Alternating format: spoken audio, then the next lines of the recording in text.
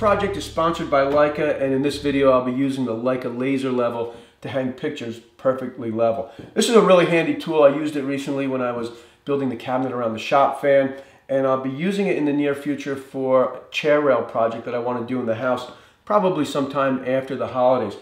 If you want to learn more about the laser level, I'll have a link in the description. The first step in this project is to make your molding and if you don't know how to make the molding, click on this video right here and fast forward to minute 150.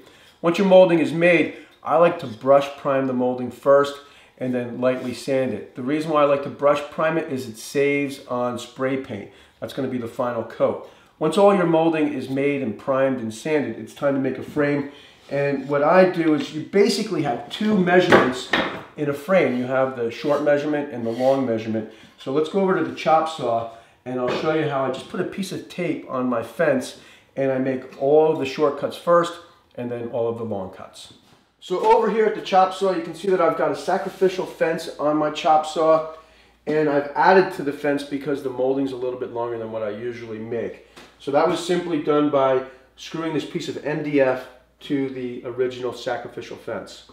For the first cut, I'm holding the molding upside down.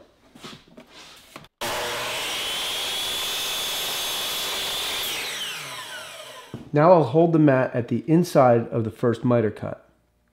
And next I'll mark a line just about a 16th to an eighth of an inch beyond the mat.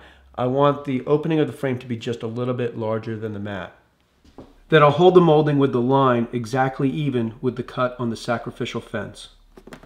At the other end of the molding, I'll attach a piece of painter's tape on the sacrificial fence and use the tape as a mark for the rest of the long cuts.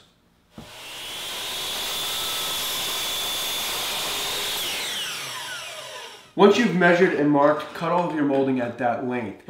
So in my case, I'm making five frames, so I cut 10 at the long length. Then I remeasured and marked and cut 10 at the short length. And with all of my molding cut, next I'll start to make the frames. To make the frames, I like to put a smooth piece of MDF or plywood on my work table.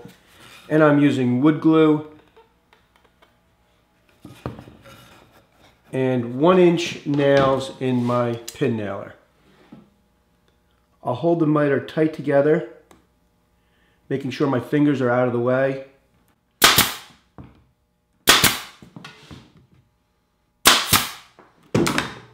And remove the wet glue with a damp rag before it has a chance to set up.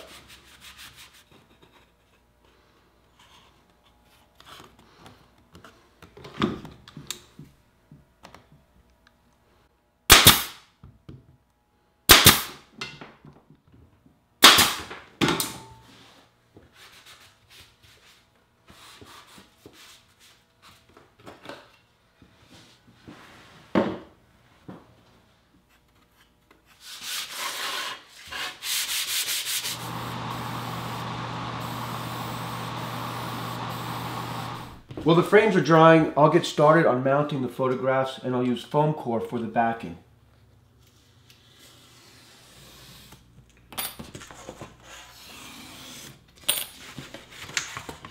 So now I've got all of the backing cut. I'm going to open up a mat. And again, this is a standard size mat that will fit an 8 by 10 photograph. And you should be able to find these in any arts and crafts store. Make sure you're working on a clean surface. Turn the mat upside down.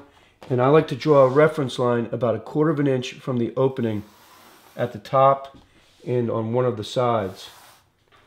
Then I'll take the photograph and drop it face down on the mat and hold it in place with a piece of tape at each corner. And then place your backing on the back, flip it over, and we're almost there. We just have to add the glass. Once you're sure that there's no dust on the mat or the photograph, place the glass on top. And then I hold the glass in place with a few pieces of tape on just the edge of the glass, folding it underneath the mat board and the backing.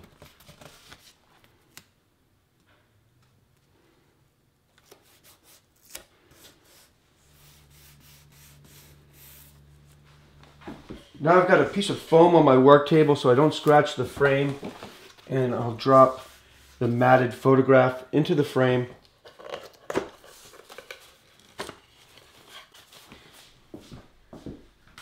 And this is a really handy tool, but I don't expect you to have this, so you could just hammer small nails into the side of the frame and that will hold everything in place.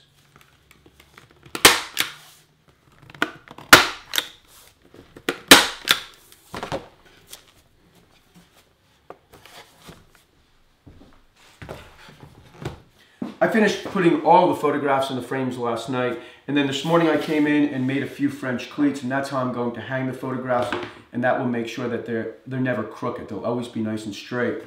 To make the French cleats, I started with half inch plywood, ripped it into two and a half inch strips, then changed the angle of my saw blade to 35 degrees and cut a 35 degree angle on the half inch plywood.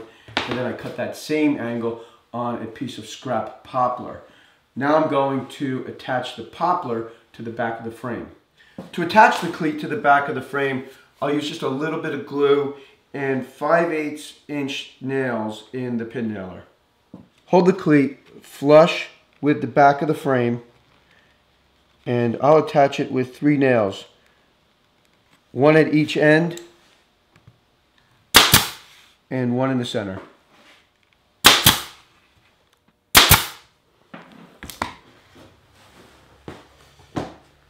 It's always a good idea to come up with a plan for an installation and in this case I'm going to install the center cleat first and the space between cleats is 5 inches so I've cut a piece of scrap wood at 5 inches and I'll use this as a measuring stick in between the cleats. From the top of the frame to the bottom of the cleat is three inches, so I've established where I want the top of the frame to be, measured down three inches and put another piece of tape on the wall. Next, I'll align the laser at the top of this piece of tape.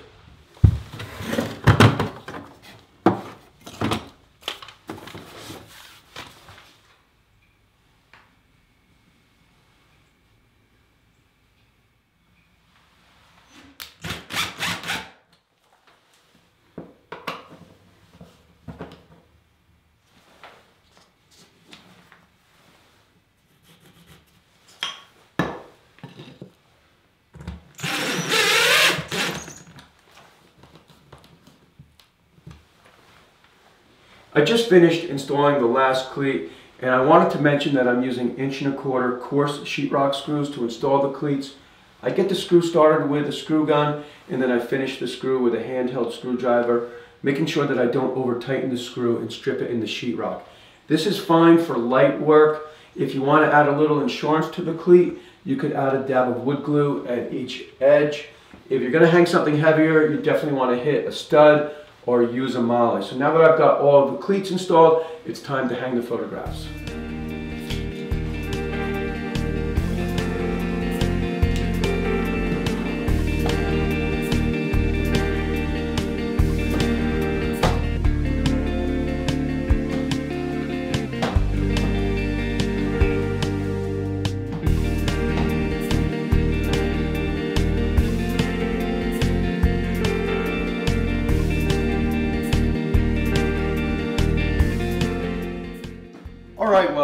Nice to have that project behind me.